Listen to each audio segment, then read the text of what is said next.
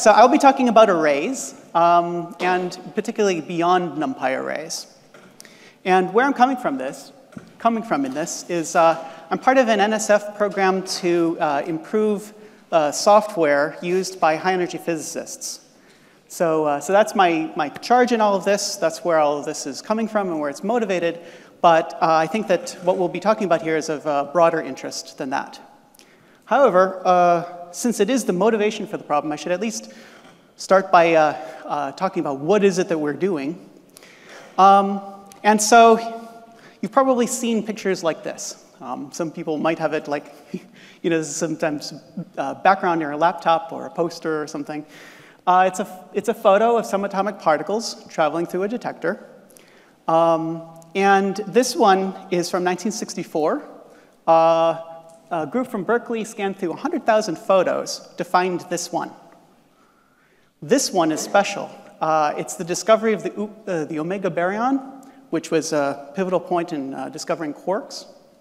Uh, so then, look at that. You see it? Go through 100,000 photos that look more or less like this in order to find it? Well, it helps if you draw the lines on top. Uh, so each one of these pictures has to be interpreted.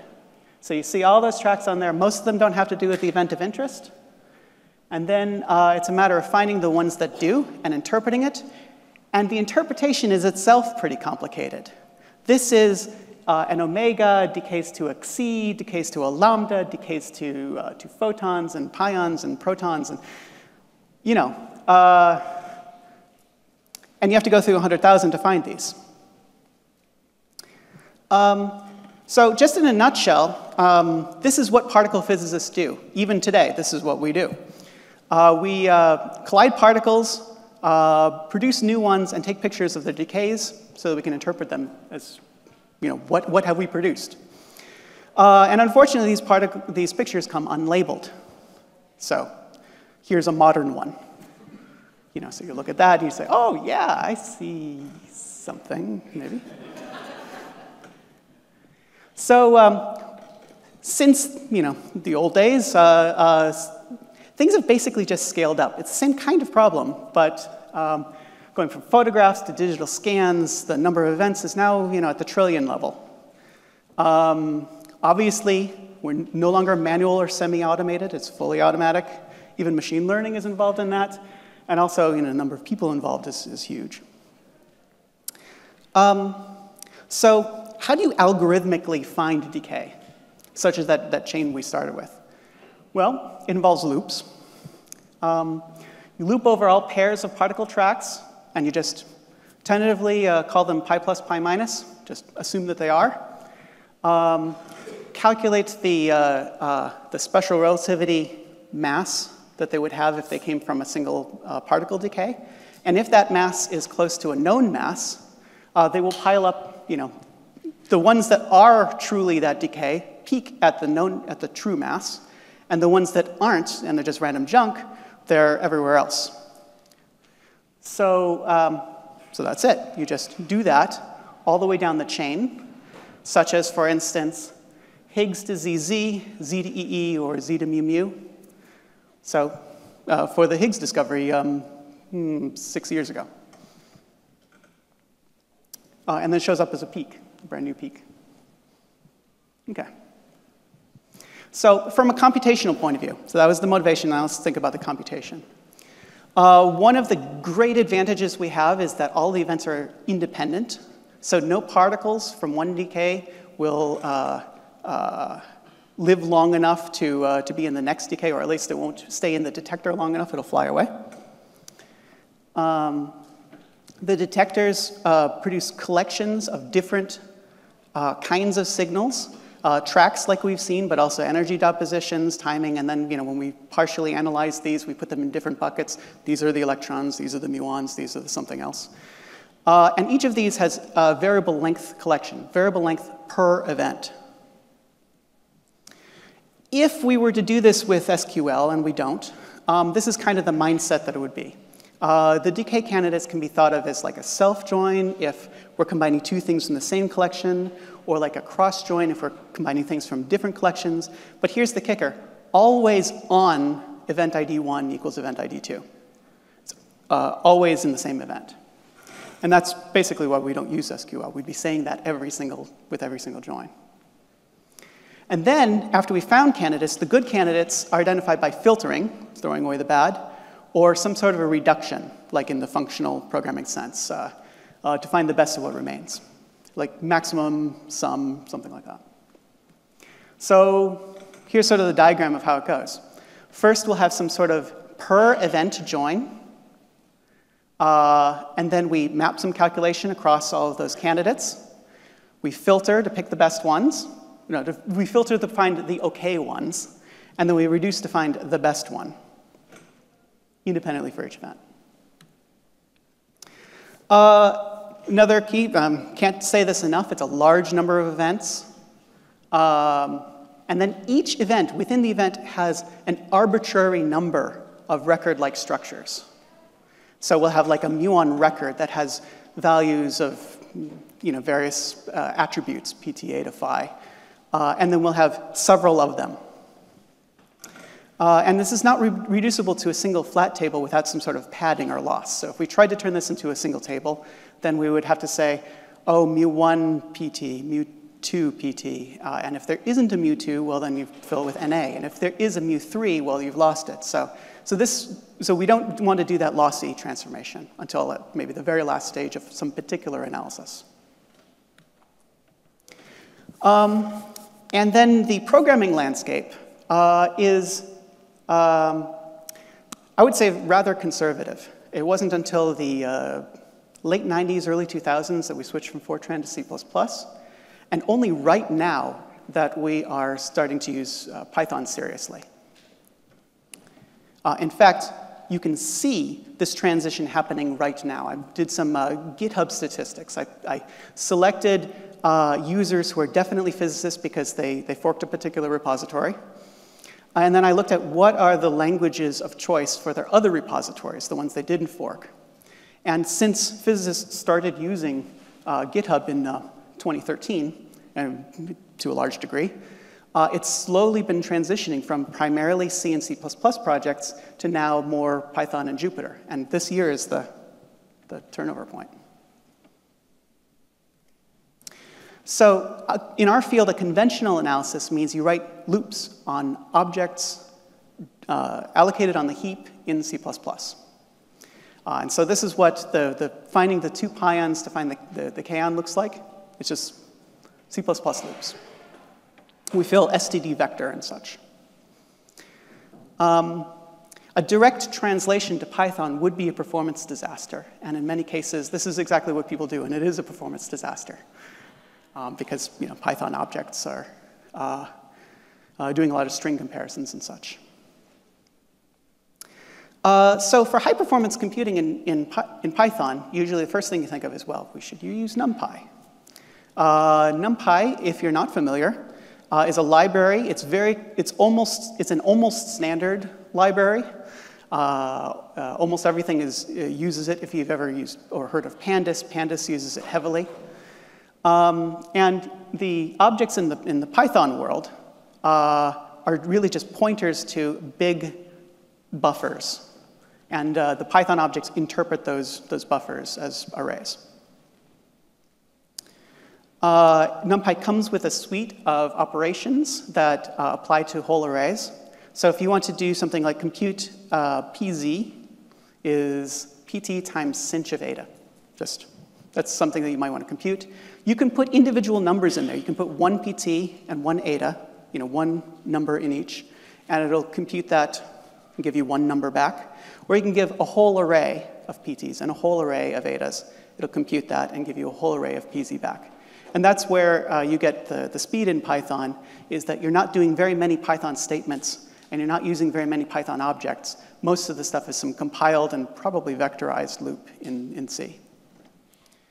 Another neat thing about Python is, sorry, another neat thing about NumPy is that uh, uh, the, interpret, the, the object that interprets the array can change, leaving the array in place without, without changing the array at all.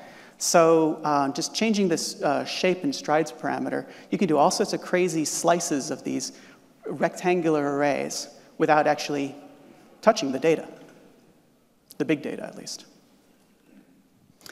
But NumPy doesn't have anything for unequal length lists. And this is fundamental to our field. You know, it goes all the way back to the 60s. Uh, so we can't get away with it. We, we need something. Uh, we don't have anything in NumPy that could take uh, a whole lot of events, each with different sized collections, and do something like um, you know, find all the, all the pairs. There are libraries uh, that represent arrays of unequal lengths. This is becoming more and more popular. I've no noticed that there's uh, used to be just one library, and then you know there are more uh, uh, for being able to deal with this. And so this is a good sign.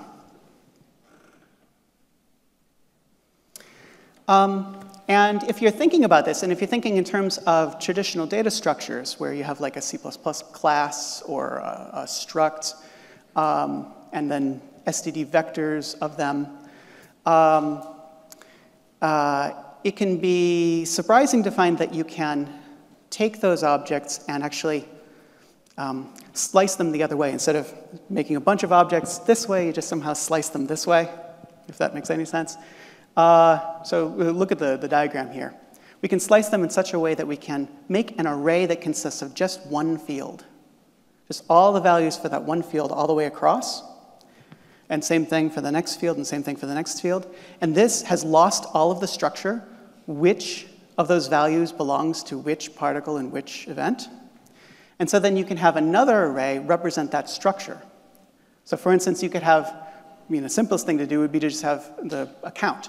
And this count says, oh, the first three of those values belong in the first event. And the next one value belongs in the next event. And the next one value belongs in the next event. And then two values in the last event. That's nice, except it's not random access. So you can just cumulative sum it to, to get offsets. And then you can jump to any one that you want. Furthermore, that offsets is sort of folded together starting positions and stopping positions, and sometimes it's useful to separate those out and have two separate arrays for that. And sometimes it's useful to have, instead of pointers down from the parent to the child, pointers up from the child to the parent.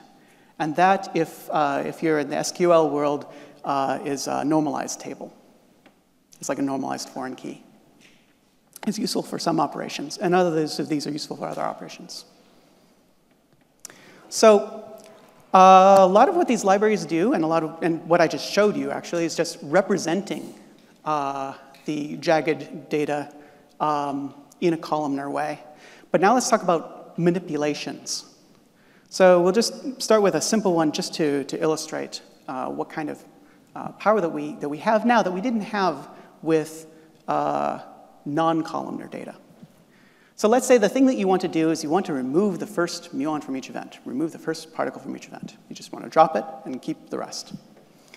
Well, if you have traditional data structures, that means you have to rewrite those lists. Um, but if you have a columnar data structure, particularly if it's like uh, starts and stops, you see that you didn't have to touch any of the, uh, the, the content. You can just change the number of where they begin for this particular operation. And then other operations do other tricks. But yeah, so we've got a whole bunch of new tricks available if we have the data represented this way. And a really nice thing about this is, what if the contents, what if uh, all of the attributes corresponding to my particle, let's say I have 100 of them, and a given physics analysis, this particular analyzer is going to touch at most 10 of them, and then that analyzer is going to touch a different 10.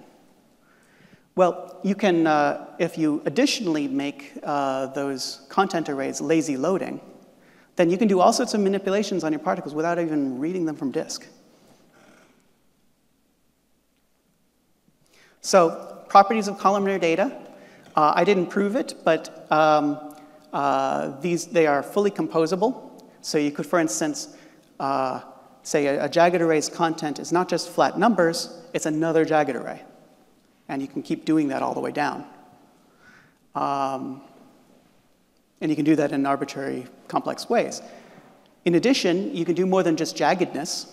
Um, uh, non other non-trivial data types like uh, heterogeneous, you know, so you might be thinking like a tagged union, uh, nullable types, pointers. The one thing it has to be is it has to be statically typable. It can't be completely dynamic data. You have to know ahead of time what is the type.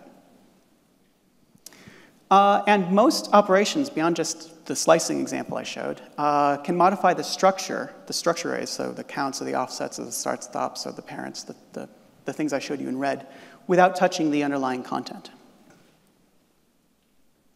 So awkward array is a library that does this. Uh, it uh, provides uh, operations on columnar data with a NumPy-like interface.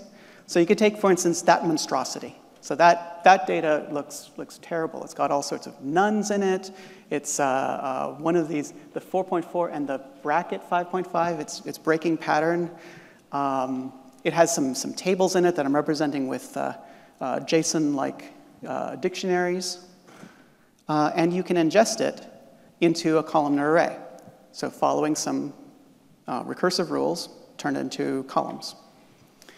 Um, and then you can do NumPy-like things on it. You can, like, uh, if you're familiar with NumPy syntax, the way that you would slice the second but not first dimension of an array is you would put a colon for the first dimension, and then like uh, minus two colon to say the last two of the, of the next dimension. And it'll just do that. You can verify that it's just picking the last two. Uh, and you can uh, apply uh, array at a time operations. Like you could take the sinh of everything, or you could add 100 to everything, or any of the, the NumPy ufuncs just pass down through these nested structures and apply at the lowest level. So I'm here, I'm showing the original uh, data structure with everything uh, uh, plus 100. The layout of this, uh, how, what is this actually in memory? It's a bunch of Python classes uh, that contain NumPy arrays. So, uh, so the depth of this structure, you can see jagged array, uh, uh, indexed masked array for the masking, uh, union array for the heterogeneous lists, all these different kinds of structures. But at the leaves, at the bottom of all this, it's just NumPy arrays. And that's, in that sense, it's columnar. And data types, uh, we want to be able to describe data types. So um, the way that we're, we're actually describing these data types is, is, we say, well, you know, array indexing is like a function. You know, you have square brackets instead of round brackets, but you can put something in there. Uh, and if that's a number, then you get an, an element. If that's a string, then you can get a column from it. And so then, uh, since, and then you can talk about the, the data type like a, a, a functional data type. Like this is intentionally made to look like uh, uh, uh, Haskell function data type of, of this, arrow that, arrow that, arrow that. Uh, to show what happens if you put in a, a, number here, what kind of structure do you get? If you put in a number here, what kind of structure do you get? You get a, a tree in general. Um, and here's a point that is really an aside, but uh, I want to take advantage of my, my time at Strange Loop with, with people who know these things um, we've found that you know, arrays are functions in general, and array indexing is function composition. Uh, and in fact, it's associative, just like function composition. And that's been really useful in our work. If anyone can tell me more afterward about like if there's any literature on this, I'd really like to know. This is just a sort of a thing that, that we discovered by, by tinkering with this. And I bet there's like a mathematical theory of it and I want to learn. Anyway, that's an aside. It's way too much detail. So let's get back to the main point. What kinds of things can you use this for? So let's look at some real data and some not particle physics data for a change. Um, completely far afield, somewhere, somewhere, you know, way, way out there, and let's consider, oh, space data. Uh, so look at the exoplanets data set. Uh, and I like this data set because it's naturally jagged. A star can have more than one planet. Uh, so we ingest that from a JSON file, because a JSON file is a rather natural way to represent these structures. Um, and let's look at just one of them, or two of them, I guess. And you can see that uh, among the, the, the, fields in this data, uh, one of the fields is planets, which is a list of more objects. So this is, the, this is what the data means, but the data is in a columnar representation. Uh, this data type is easier to read than the, than the monstrosity I showed earlier. Um, if you put in a number less than 2,900 something, uh, you will get a star, and a star has all of those fields. And if you put in the field name for right ascension or distance or mass, you'll get the star's right ascension or distance or mass, and those are numbers. Or if you put in the, the string planets, you get a list of objects that have their own properties.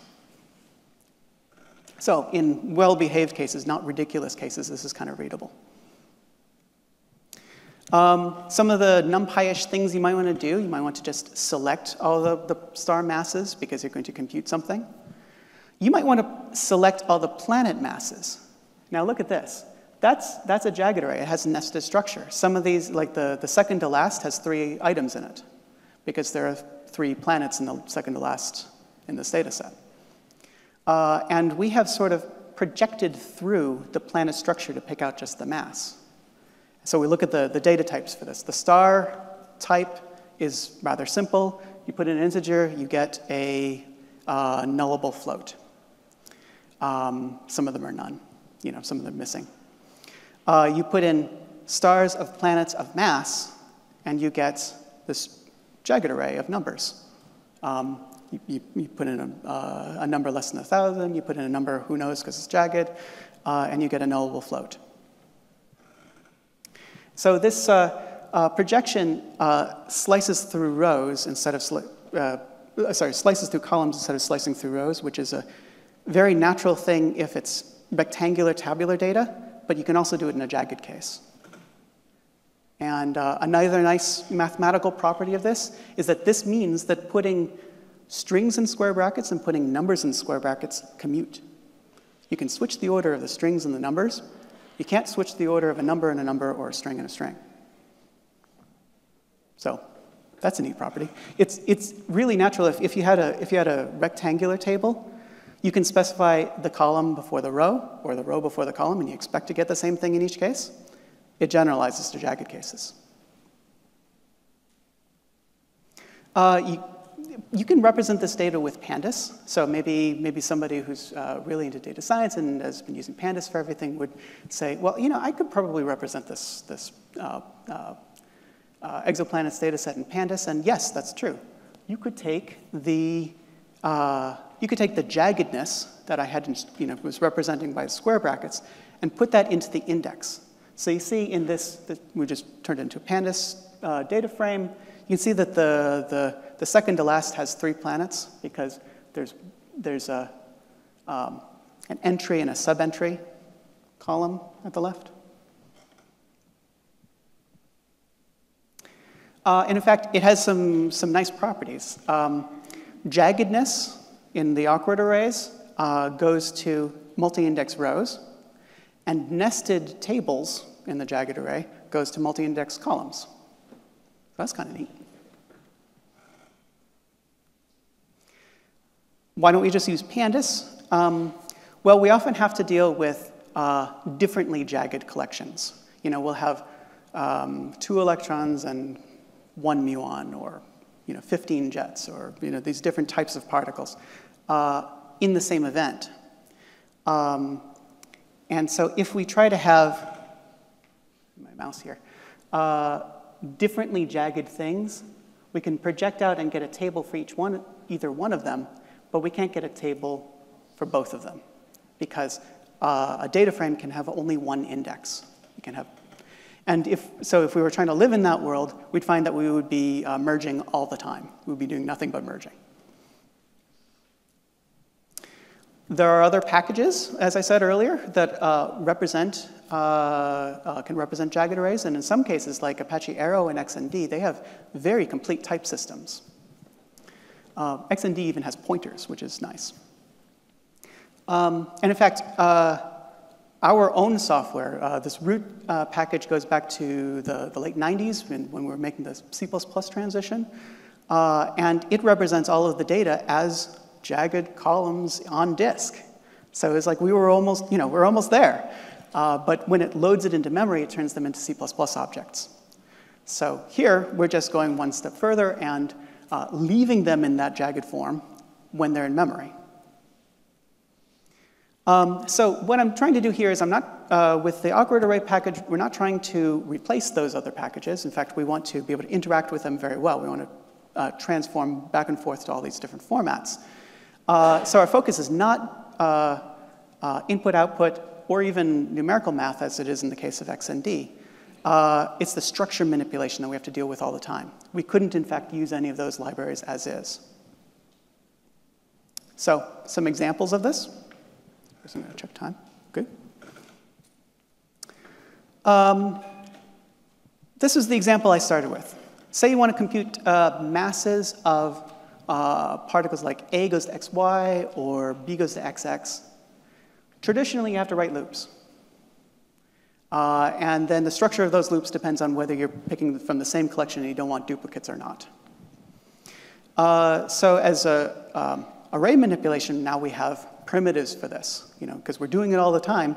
We want to be able to say data set X cross data set Y to get the cross join per event. Or a data set X choose two to pick uh, uh, two without replacement.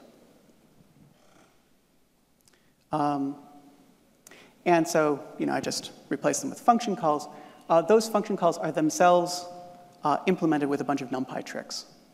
So, um, not, not to study this deeply, uh, this is um, no point in here do we have like a for loop. It's all just NumPy, NumPy, NumPy, NumPy, NumPy.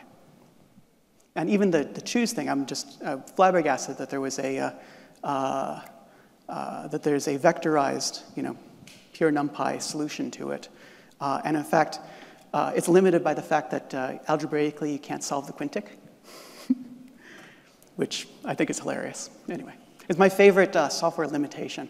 If we wanted to do a size bigger than five, we'd have to write loops. Um, other examples like filtering, I said that was the next step you want to do. Let's say we want to filter these particles. Well, now you have a choice. Do you want to remove particles from events, or do you want to remove events? So there have to be different ways of expressing that. And with loops, there are different ways that you write that out, long-handed loops. Uh, and, and just as a byproduct of generalizing NumPy's rules, uh, we get these, these cute little expressions like, like this, where uh, you put a mask in square brackets, and that mask is made by, you know, greater than cut or dot max greater than cut. And those, and the first one is cutting particles, and the second one's cutting events for this reason. If you're familiar with NumPy, you've probably uh, made uh, arrays of Booleans and passed them inside the square brackets uh, to select uh, elements of the array. Uh, we can do that here, even if the elements there are, are, are variable length things. Uh, and we can also do that if we have a jagged mask, and it has the, the natural extension.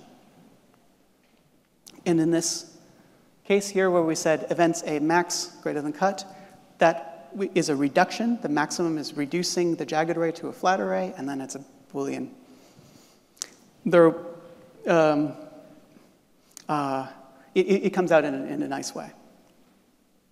Similarly, I think I'm going to hurry along now. Um, the, uh, the, the, part of, the problem of reduction uh, is, is, similarly made, uh, similarly simplified by the fact that we're just generalizing what NumPy already does to the jagged case.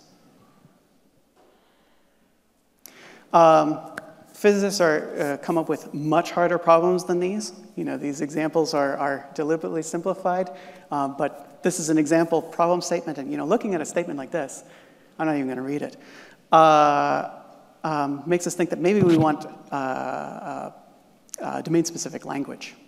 And so here's a, an attempt at a SQL-like domain-specific language for trying to express some of these really complicated uh, uh, selections. But on the other hand, when you do that in loops, like the way people are doing it now, it's pages. And that's you know, what currently makes research hard. Uh, this is not a hypothetical package or used by only a couple of people. We've been, uh, it's been sort of in the wild for a year now. Um, these are, pip download statistics, so we're tracking how people are using it. With the selection that they're on scientific Linux systems, which means that they are physicists. So just picking the physicists. just picking the physicists, um, uh, awkward is this purple line. Uh, when it was made a dependency of this red line. And so people are bringing in the, uh, the, the, package to just read their files, and they're getting the, the awkward arrays along for the ride. Uh, but within this world, within this small world, um, eh, there's as many downloads of this as matplotlib or uh, uh, pandas. Uh, we now have a lot of these uh, composable things. We just compose them to get all sorts of different features.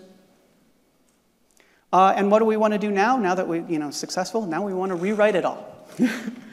uh, now we've got a lot of feedback from the users. We, there's some design changes we want. We also want, uh, to, we want a C++ version of this so they can interface with existing code, a lot of which is written in C++. Uh, we want to be able to use Numba uh, because that would be fantastic if people could write Python expressions and just JIT compile them, and, uh, and, and those in those functions were aware of this stuff. Um, but you know, this, if, if we're imagining uh, writing three versions of this, one NumPy, one C++, one um, Numba, uh, it, it's beyond our, our abilities. So, uh, and we also want to fix some design mistakes that we're learning from people using and the feedback. And so we have an idea of building it in layers uh, with a, a, a, substrate written in C where the actual algorithms go, and then C++ or Numba where you have memory management, and then that's PyBind 11 into Python. And so this is, these are our plans. This is what we're working on now. Uh, finally, like, is this only for particle physics? Um, I would say no, otherwise I wouldn't even come here and tell you about it. Uh, the existence of Arrow and XND uh, and the momentum behind these projects suggests that it's not. Um, so nested data structures, well, how could that be domain specific? Um, we have found another example, at least uh, in the sciences, where this join, map, filter, reduce uh, workflow is highly relevant uh, in genetics. And we found this out because we found out that ZARR, however you pronounce that, ZAR, the ZAR library uh, has ragged arrays, and the reason they need them is for genetics. Um, and then finally, you know, I've been looking at this uh, SIMD-JSON package, which is awesome. It parses uh, uh, JSON super fast. Uh, if we could couple this with the fromITER and turn the JSON into columnar data, how many JSON data sets are there out there? You know, maybe log data or something like that, semi-regular that you want to just ingest into a much smaller form and perform much faster operations on.